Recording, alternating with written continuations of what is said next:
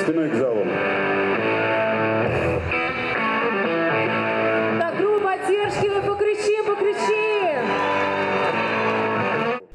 Выступление уже победа. Дмитрий Гоменюк бодибилдингом занимается 6 лет. Из них год соревнуется. Мужчина выступал в категории Men's Physique. Судьи оценивали тонус кожи, сухость тела и яркость выступления. Все детство парень посвятил лыжным гонкам, но однажды настало время что-то менять, признается спортсмен. Что-то надо менять в жизни, что-то перестраивать, что-то надоедает, приходит что-то новое. Вот, нашел новое увлечение.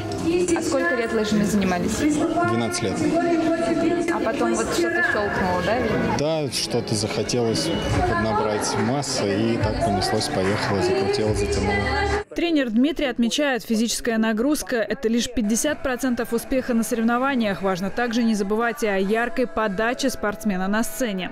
Мало того, что нужно спортсмена подготовить его форму тела, нужно еще ее правильно преподнести и показать, чтобы а, не было каких-то перекосов э, в теле и э, яркий образ, который запомнился судьям и бросался бы в глаза.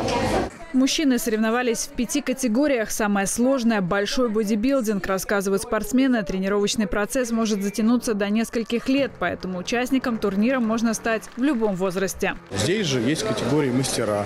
Можно 60 плюс, 70 плюс. То есть ты можешь себя поддерживать в отличном состоянии, будешь э, ну, здоровым, хорошо выглядеть и выделяться, скажем так, из общей массы. В среднем подготовка к соревнованиям длится до 12 недель. В эти дни главное для бодибилдеров следовать четкому плану. Тренировки 3-4 раза в день, питание без быстрых углеводов и полноценный сон. Здесь главное не перемудрить, я бы сказал. Если форма хорошая, то не стоит делать лишних манипуляций или объедаться, или опиваться.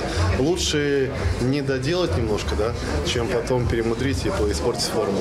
В соревнованиях приняли участие девушки. Их подготовка ничуть не меньше, чем у мужчин. Спортсменки признаются, в зале приходится проводить по 4 часа в день. Пить можно только по графику и определенное количество воды. Участницы соревновались в нескольких категориях, среди которых и новая. В у нас категория очень красивая. Это где очень красивый большой низ, более раскачанный, да, такой спортивный, и красивые большие бедра.